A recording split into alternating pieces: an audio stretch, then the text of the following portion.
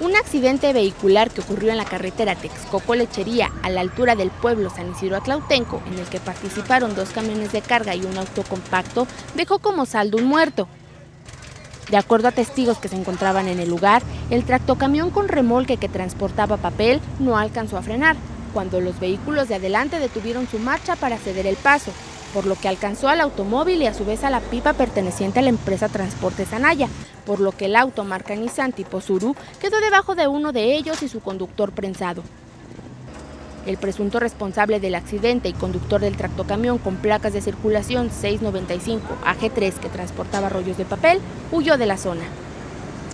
Al lugar del accidente arribaron elementos de protección civil y bomberos de Ecatepec para prestar los primeros auxilios y policías federales quienes abanderaron el sitio para evitar otro percance, en espera de que la gente del Ministerio Público llegara para tomar conocimiento de los hechos.